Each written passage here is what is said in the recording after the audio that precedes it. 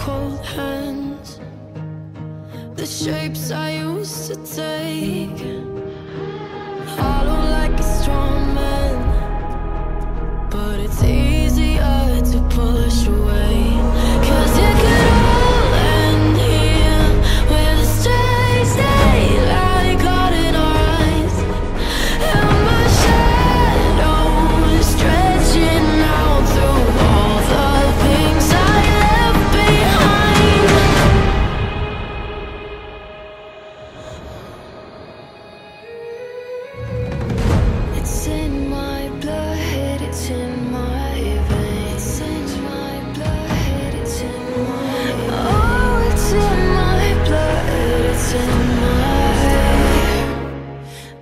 way.